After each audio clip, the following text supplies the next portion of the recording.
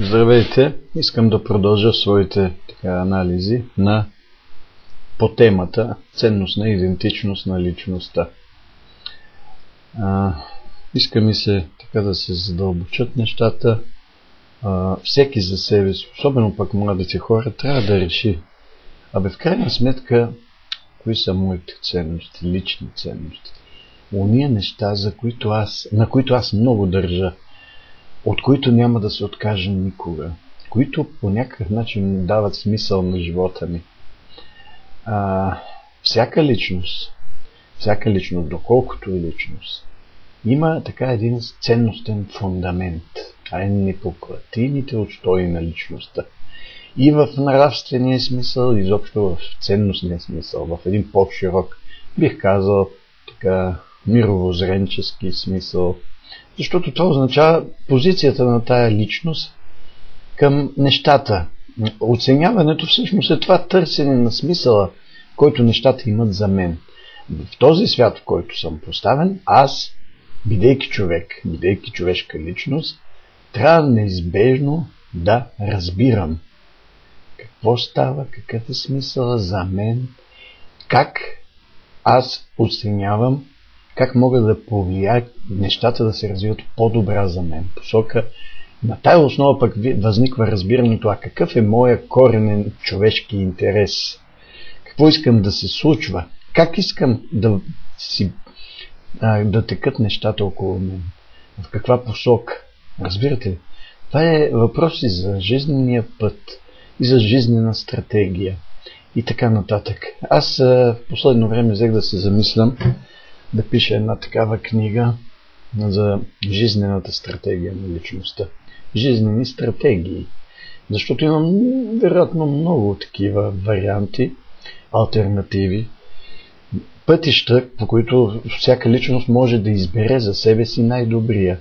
Разбира се, трябва, ето и в този случай възниква въпросът фундаменталния за критерия, възоснова на който аз предпочитам едно за сметка на друго и така нататък. Аз ви казах, че се опитвам да разговарям с младите хора, на които преподавам философия за тия неща. Опитвам се да ги предразположа да се замислят. Една част от тях казват, още не сме нали, наясно. Това наистина може би е, но той, е, те са 17-18 годишни.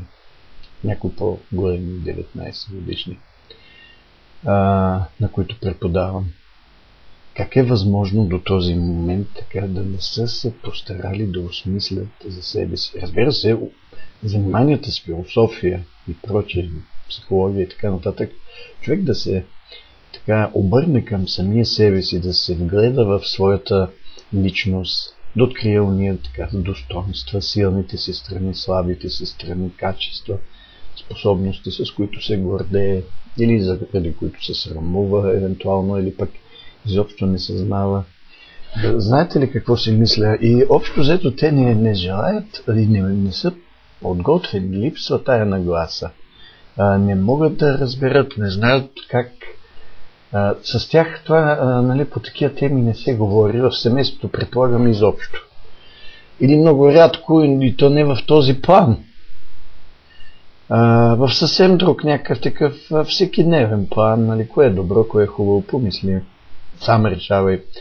Разбира се, много е важно родителите, съзнавайки, че младежите от тук нататък, техните деца е, ще решават най-съдбовни задачи относно бъдещето, избор на път, живота и така нататък, би трябвало да ги оставят самостоятелно да решат, да се ориентират и решавайки нещо, избирайки нещо, предпочитайки нещо. То става възоснова на това, че ти а, имаш някаква база, ценностна база, върху която стъпваш, от която изхождаш, за да осъзнаеш и личния си, собствения си, човешки, личностен интерес и така нататък.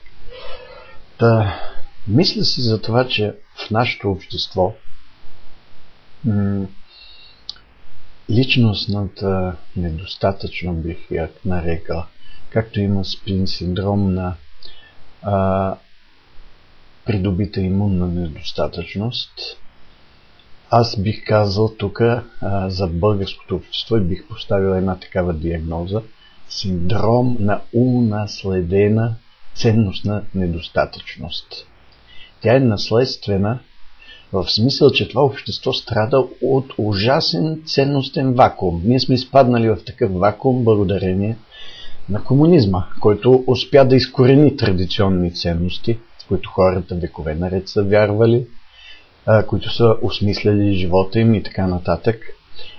Вместо някакви нови ценности, каквито те се опитваха да създадат, които обаче не намериха почва, не намериха корен, не успяха да се така освоят от човешката душа. Те бяха противоестествени техните ценности. Фалшиви. Ценностите на комунизма са фалшиви. Изобретение на, изобретение на един такъв немощен разсъдък, крайно вулгарни, прагматични, пошли и прочее ценности на един материализъм, на една безнравственост, на една античовечност. Това бяха ценностите на комунизма. И ние наследихме този ценностен вакуум, сега това, което се случва, нали, тържество, апогей, апотеози на нихилизма, на чалгашарството, на а, простотията, простащината и така нататък. Всичкото това не е предизвикано, представете си, от свободата и от демокрацията, както разни такива а, идиоти като Вучков и прочие се опитват да ни внушат, че демокрацията донесла всичко лошо и представете си развалила нашия рай. Не е вярно. Всичкото това, което в момента се случва, то се дължи на ония ценностен дефицит, който сме освоили от комунизма, който го получихме в наследство от комунизма. Аз затова го наричам синдром на унаследената или вродена ценност на недостатъчност. От това страда нашето общество. Това е най-коварният ни проблем. Нали се говорим, че трябва да настъпи промяна в съзнанието и така нататък. Точно в този смисъл промяната в съзнанието означава да покълнат нови ценности, т.е. да се върне човешката а, същност до нейните първоизвори, уния вековни така, а, с традиции, ценности на религията, на морала и прочее, от които ние бяхме откъснати в резултат на половин вековната, половин вековната ваханалия на комунистическия а, на комунистическата проказа.